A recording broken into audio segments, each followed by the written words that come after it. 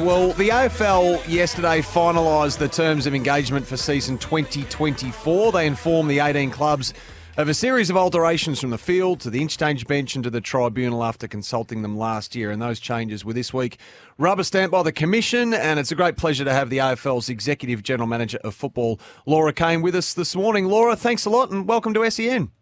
Thank you. Good morning, guys. Good morning to you. It's, it's I know it's been spoken about a lot, but the so-called uh, Maynard rule, if you like, regarding the attempted smothers, uh, the latest in a line of perhaps what is it, thirty alterations now designed to make the game safer, of course, which I think we all understand, and, and the class actions ongoing and the increasing awareness around concussion. Uh, do you accept at all that you will only be able to make the game safer to a point that there will be an inevitable line reached here, Laura, where the risks taken by the players are, you know, inherent? The game's continued to evolve. So I think we've we've been making changes over the past couple of years. 30, as you mentioned, in terms of ongoing change, and the game. I think the footy's gotten better. So the football has been able to evolve and develop, and it's as spectacular as we've seen it, all at the same time. So that part, you know, fills us with confidence in terms of the direction that we're going. And uh, like we said yesterday, and have said all along, we're not um, we're not shying away from that, that we need to make the game safe and we need to continue to improve the quality, and I think we can do both. Just while we're on the subject of concussion, I think you might have even touched on this yesterday, but we were discussing it, Kane and I, yesterday. I guess the suggestion that players could sign, you know, waivers to avoid future litigation, maybe protect the fabric of the game, as a number of texters are, are putting it this morning. Why hasn't, can you educate us here? No one is a lawyer in here by any stretch of the imagination, but is that something that can be done, can't be done? Where, where does that all sit, that whole suggestion? I haven't been a lawyer for a long time either, so I'm well and truly in um, footy now. But I mean, the the approach that we take is by way of our medical experts. So, uh, you know, as you guys know, coaching high performance medical staff, we have some of the best people in the world working at our clubs, and we have six medical experts working at the AFL on this very topic. So we know that they're meticulous with how they plan training. We know that they want to protect the players. They want the players, you know, they being clubs want the players out there more than we do mm. uh, for their fans and to win games of footy. So, in terms of the, the care that we know is provided for our players at Clubland, we feel really good about that. We want people to feel safe playing our game. So I won't talk to waivers or the legal overlay of this. Our focus is on the rules, the on field product, and then the processes. What happens? What does the return to play look like? And we, we feel confident that the process that we have in place uh, one is well placed with the current research, but also is evolving and listening and taking on all of the feedback. Some would say I'm an alarmist, Laura, but I'm concerned that the knee to the head may become a real issue, and by extension, that means that the high mark would be in danger. Uh, has that come up in any of your conversations about safety for players? I, I also think sometimes you might be an alarmist too. so good observation. but no, I, I, I, we look at all instances. So there's so many contact. It's a contact sport. There's so many instances around the grounds and moments that happen that can be of risk. But so many on so many occasions they're not of risk, and they're what the, that makes the game great and spectacular. And they're the moments we all remember. I mean, we we award Mark of the Year. Like we want to celebrate those individual moments but we have to make sure that they're safe. So we think that players can continue to contest the ball, particularly in a pack mark setting, mm. and not necessarily hurt each other. Accidents happen on a footy field, and we know that. We understand that in the context of a game, things will happen and people will unfortunately get hurt. So, what we're trying to reduce is the instances that we can control.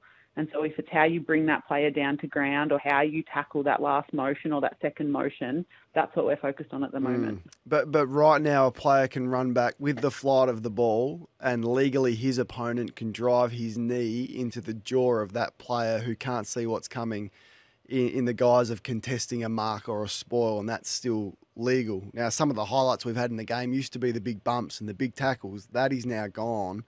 Uh, my concern would be that at some stage legally or through the safety and care of the players, you're going to have to make a call on this or, or not? I mean, play. Uh, you know, players go out there to contest the ball and win games of footy. They don't go out there to hurt each other. We'll continue to look at it, but we've made so many changes to different aspects of the game the different ways players interact with each other on field, and the footy's gotten better. Mm. So what I feel good about is if we had to evolve to a place that makes the game safer in another aspect of the game, we most certainly will.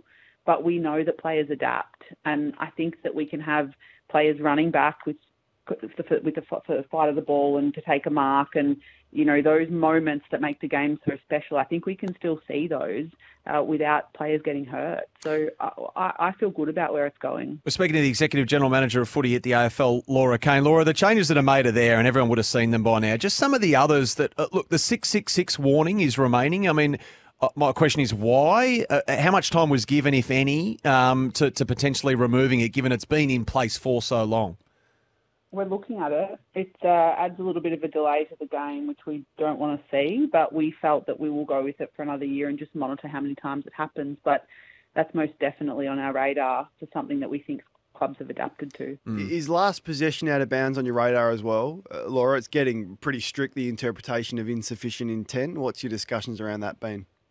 Yeah, we've been looking. I mean, we've got the AFLW competition um, that gives us a good marker, but we also look at the SANFL mm. WAFL um, and different changes that they make, whether it be around, you know, um, last touch or the bounce, you know, any aspect of the game that they alter and looking at what that does to the on-field product. So we'll continue to look at it, but no, no, um, uh, you know, intention to change it in the AFL competition at the moment. The bounce is obviously safe for the foreseeable future.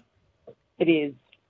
And the your off season, if there is such a thing, score review fact finding, where and who, and the the review system. Where's that at in terms of ball chip technology? I mean, could we see it in the VFL this year? And and I ask for the officiating overlay. Of course, I know there's all sorts of footy data possible with it as well. We've had a really good look around the world. Had a look at what they're using, both on their equivalent um, in different sports in goal line technology, and then around the ground. I think the unique part around our uh, field uh, is the curved nature of the line. Mm. So technology doesn't um, love that as much as it loves a straight line, but mm. we're focused on the goal line technology and what that could look like. So ball tracking is going really well. We had a trial at Marvel just last week, and we've tried it at another venue, a smaller venue, just to see how it interacts um, without all the concrete and without the all the seats, and both have worked tremendously well. So anything is possible. Uh, we've had it in AFL preseason men's training over the past couple of months, so clubs have all been using them mixed in with their normal Sherrins, and we'll have a look at whether State League or um, AFLW, VFLW is the best way to go in terms of introducing that technology. Can you explain how it would work? Like, is it the, the umpire getting a notification in their ear because something's, you know, you've been notified that the ball's hit the post? Or, yeah, I'm struggling to picture how it could work. Yeah, so the, the ball has a chip in it that picks up a whole heap of different data points and different information. So uh, there's there's a stream around the game itself. So it's tracking things like congestion and ball speeds. We don't have direct metrics for either of those two things. Mm. And how can we start to understand where the ball's going, how quickly it's going, and where the players are relative to the footy? So there's a football performance game analysis stream to it. In terms of score review, most of it uh, centres around what it tu- what the ball touches and also what lines it crosses. And so it's quite um, quite good in terms of uh, tracking when the ball has crossed the line, and if anything has happened to the ball when that ball has crossed the line, say a um, a, a, slight finger or a post mm. brush, uh, it can pick that up. So yes, the idea is that the technology um, is instant, and I saw it in action the other day, uh, and tells our officials what has happened. So we just need to work out how much testing we need to do to make sure that we're confident to use that technology in officiating. But uh, we've already started using it in, in terms of uh, data collection from a game analysis perspective. Uh, Laura, the competitive balance review that your team is embarking upon, you know, big project, of course, 18 teams, 24 rounds, nine teams in, in one city, obviously has a lot of elements to it.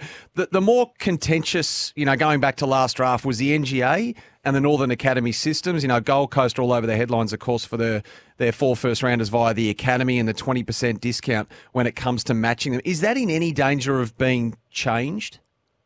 Absolutely. We look at all of those mechanisms of player movement and I don't think any danger of being changed necessarily is the best conclusion. It is. It should be evolved and it should move with the times. And if we want the game to look like the community and reflect the community, then we have to do that. The competitive balance review process has been just terrific. Our clubs have been extraordinary in the contribution that they've made. I've um, seen all the emails come through last week and they're very long. So there's a lot of thoughtful information that we will contemplate and make sure that the player movement mechanisms all work together and they help our clubs build lists and programs that reflect the diverse nature of our community. So that is really important to know, is really important to our clubs. And just with the NGA, obviously it's a 40 pick window where clubs can't match bids. I know there were some clubs upset about that. Could that be adjusted in the, in the near future? We're looking at that with the Next Generation Academy. It, it uh, was previously introduced as you both would know well um, without that cap on it, and we're looking at what it would look like if we went back to uh, an ability for clubs to pick in the higher um, rounds of this draft. Uh, I know we're nearly out of time, and apologies, it's been a bit of a hot potato as far as the topics are concerned. Mid-season trade period, definitely next year, would you say?